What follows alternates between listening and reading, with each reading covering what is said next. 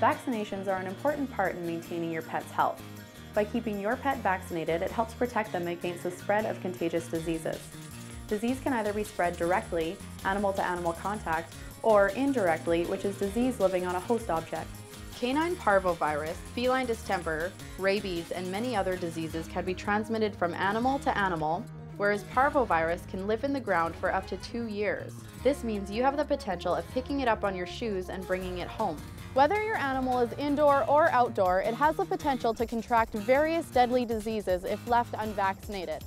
Over the last 50 years, countless animals' lives have been saved by vaccinations. Puppies and kittens require an 8, 12, and 16 week vaccination to be adequately protected from various diseases. Until this time, it's important to limit the places you take your puppy or kitten. Don't take them to a public park or down the street for a walk before it's had these vaccines.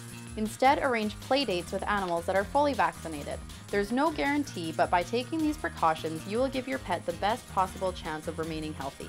Adult dogs and cats require yearly vaccinations to be considered up to date on vaccines. Taking your pet in for its yearly vaccinations will also enable your veterinarian to provide an overall health check. The key to a healthy long life for your cat or dog is responsible pet ownership, awareness, and continuing veterinary care for your animal. Talk with your veterinarian today about the vaccines that would be most appropriate for your animal. Humane Habits is brought to you by Quick Pick Waste Disposal. Locally owned and operated and serving urban, rural, and industrial customers in Lloydminster and District.